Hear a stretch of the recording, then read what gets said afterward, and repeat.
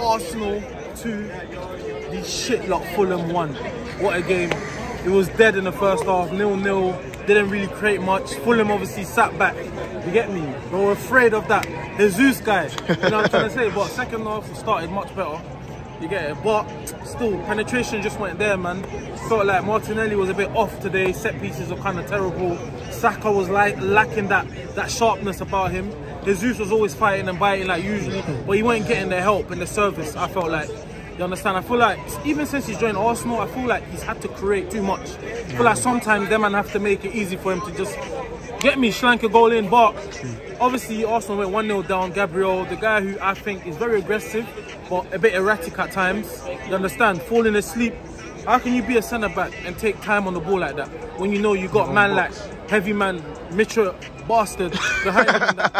Obviously Mitrovic gets the ball off him, scores. You get me? We know today the fans went back and forth with Mitrovic. He scored, started celebrating towards our fans and that. But guess what? It was nothing. That guy, Odegaard, again, possibly when I think of players that play that 10 role, there's not a lot that are really like him. You understand? He's an old school 10. You get me? Gets the ball, finds spaces, blah, blah, blah. But he doesn't shoot enough.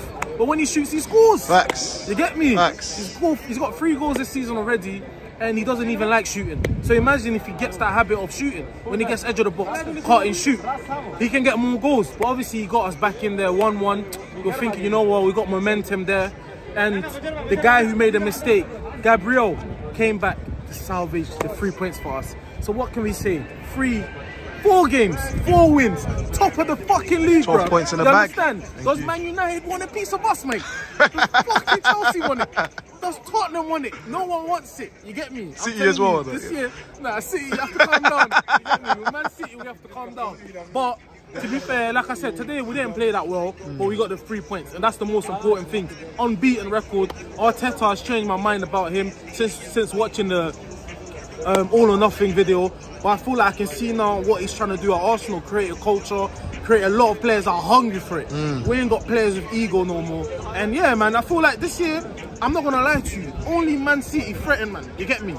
I'm not really afraid of the Liverpools, the Tottenhams, the Chelseas, mm. because the way I'm seeing, we've got a culture now. We've got great number nine, we've got a good midfield, and we've got a solid defense now. You get me? And a good goalkeeper. So I feel like we can definitely challenge. But yeah, we can't complain. On to the next game. Am I, am I expecting three points again? And fingers as well, don't forget, Arsenal have the youngest squad in the Premier League. Yeah, we've got the youngest squad. You get So- me? The youngest squad, the most experience. You understand? So they've been playing Prem. You got someone like Saka who's been a Prem now for how long? Martinelli, same thing. Jesus is still young. He's only 25 years old. Odegaard's, what, 23?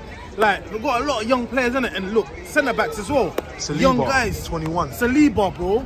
I've said it. Best centre back in the world. Come on, get me! Yeah, yeah, yeah,